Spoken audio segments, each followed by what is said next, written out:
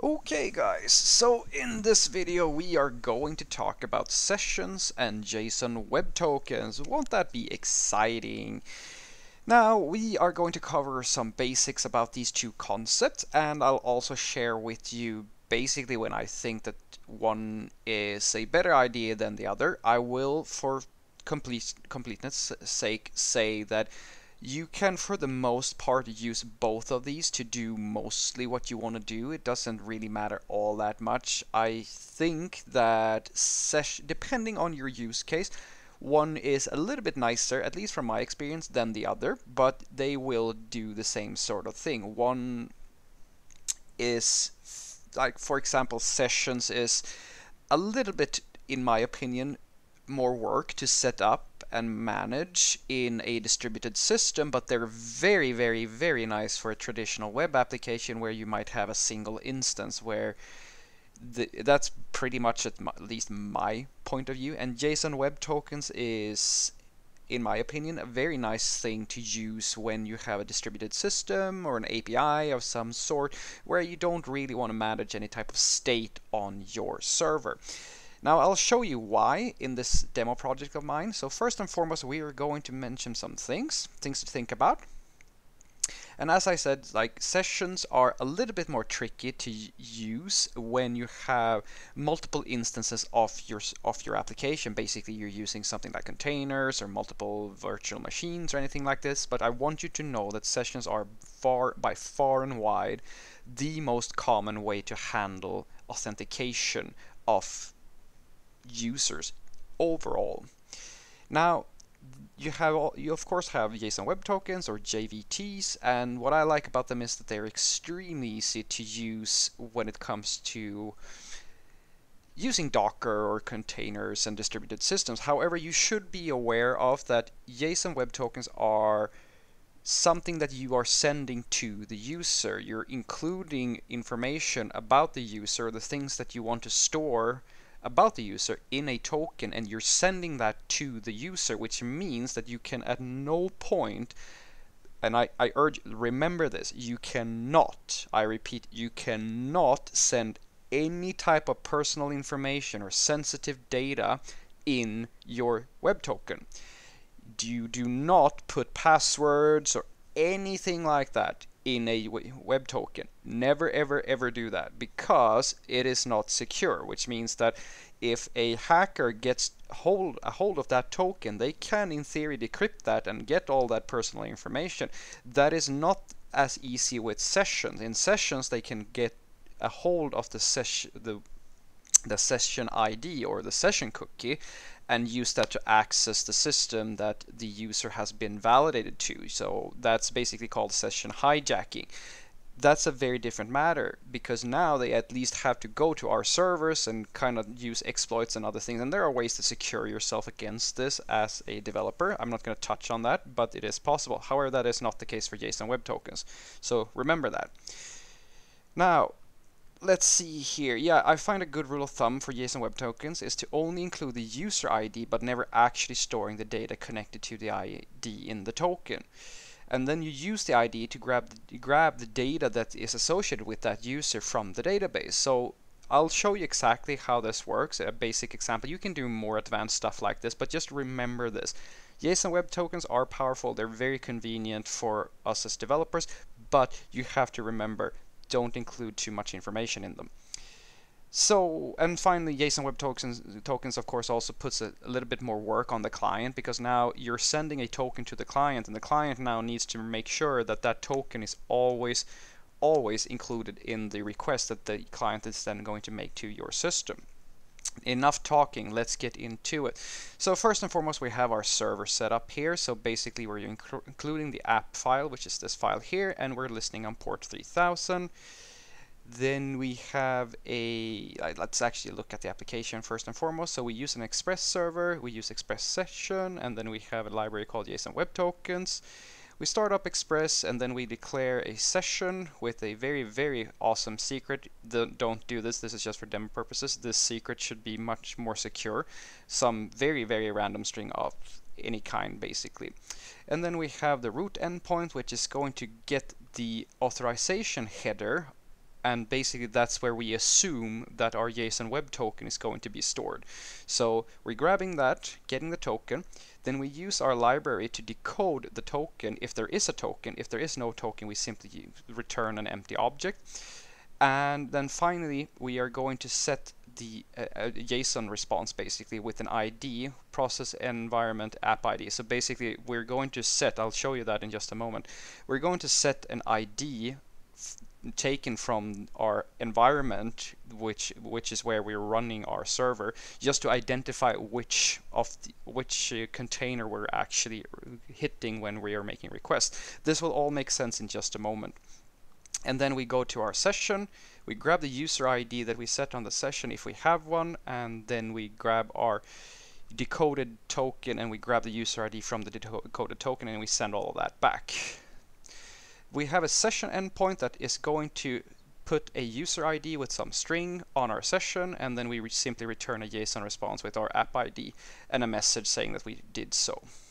Then we have a JSON Web Token or JWT endpoint that is going to sign a token. It's just a, as you can see, this is just a JavaScript object where I put a key and a string and then I have a secret just as in the session. I create this token, I set a header, the authorization header, it doesn't have to be this. Uh, this is just a practice basically. And then you set the token and then finally you just return a JSON response with the message saying that you succeeded. So let's just quickly glance at the Docker file for this container. So we are going to create a node container. We are going to copy all of the files from this directory into the source directory in our container. We're going to set the, set the working directory to source. Then we run npm install production. We expose port 3000, which is this port over here. And then finally we are going to run the command, when we actually spin everything up, we're just going to run npm start, which is going to start up our server. Because we have this little script here. Alright. I hope you're following along so far. Okay, so finally we are going to look at Docker, well, not finally, but we're going to look at the Docker Compose file because we need to look at that as well. So what we're going to do now is that we are going to create a cluster with an Nginx instance and two separate services that are basically the same. That we're just going to create two of these servers and run them in parallel. So we're going to build from this directory and then as we saw earlier that we set the env an environmental variable called app ID with the name of the of the container that we're going to run or the ser the service name basically and this is just so that we can see in, um, in my demo here which of the services we're actually talking to. And then we bind my laptop's port to port, port 3000 to the containers port 3000. And for session 2 we bind to 3001 but still inside the container it's going to be the same port.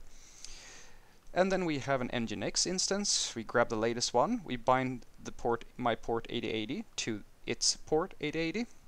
And then we have this volumes base uh, volumes uh, property here, which is going to grab the default conf from my little project here. We're going to touch on that in just a moment, and then we simply bind that to inside of the container. This is where the default configuration for Nginx is, is found inside of the container.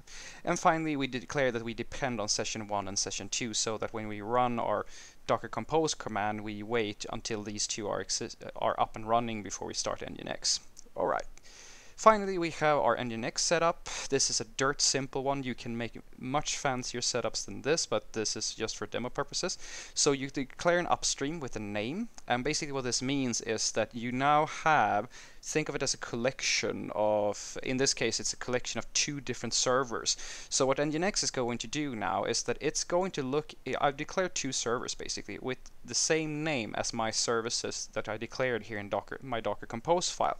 What that means is that when we Docker Compose spins everything up, it's going to put inside of the host file inside of the Nginx container, it's going to declare these two host names with an IP that is dynamic every, well, not dynamic dynamic, but fairly dynamic every time we set up a new network between our containers. So this name here is going to be resolved to the IP address of session 1 and this is going to be resolved to the IP address of session 2.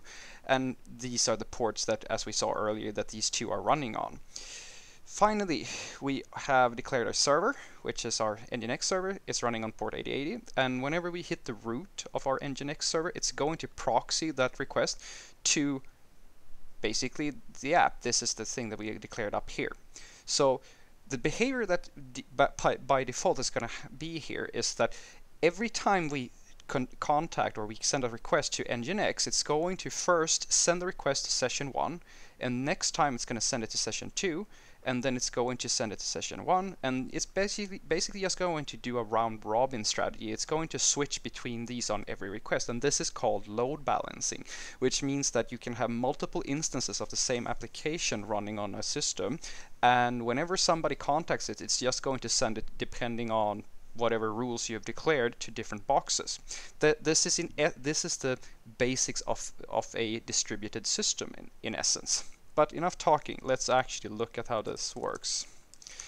Docker compose up, and we'll put that in daemon mode so that Docker actually sets everything up and I don't get tied up to uh, yeah, my terminal doesn't get tied up or anything like that. Go Docker PS and as we can see here now, everything is running as expected. We have these two session, session 1 and session 2, and then we have Nginx running as expected. Now let's take a look at Postman. Postman is basically just a way for me to do, it, you can check it out, it's fairly popular.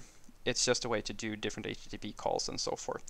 So here we have my setup. If I now do a send request to localhost 3000, we can see that oh, well, I'll actually not include this because it's a little bit distracting. So I send a, a request to localhost 3000 because we saw earlier that I am binding my ports here. So I'm binding 3000 to 3000 on session 1 and 3001 is going to be session 2.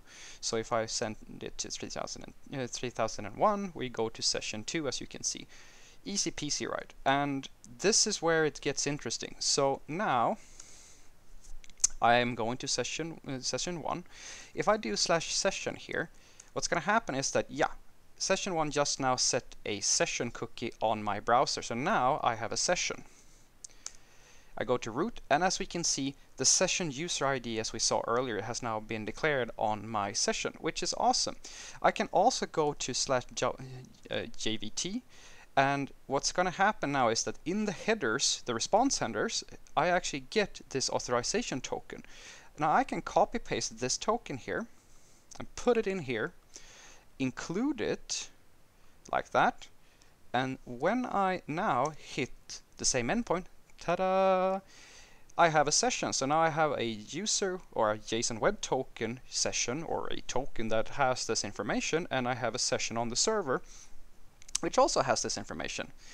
Awesome, right? Now, what I'm going to show you next is why I like, personally, JSON Web Tokens. You can set up sessions with Nginx and a few other tricks. There's more stuff you can do with sessions, but this is where I kind of feel it's easier to just use JSON Web Tokens, because if I do this now, notice that my session just went away. Why is that? Well, if we look at the code, what's happening now is that I just hit the session 2 instance of my application, and that is not where I have my session. I have a session cookie for session 1, but not for session 2. So when I hit session 2, it's going to look and see that there's no session matching the included cookie, the session cookie that I'm including, so it's just going to declare a new session and send me that cookie, and my browser, since it's on the same domain, is going to overwrite the session 1 cookie. So I just lost my session on session 1. If I go back now, I don't have my session anymore. And this is where it's so beautiful with JSON Web Tokens. This is what's so elegant. As long as I have this, all my data, this entire information, I could put all kinds of information here. It's all included in this encrypted little or hashed little string. So I don't have to depend on the server. It doesn't matter which server I go to because they both can interpret this information.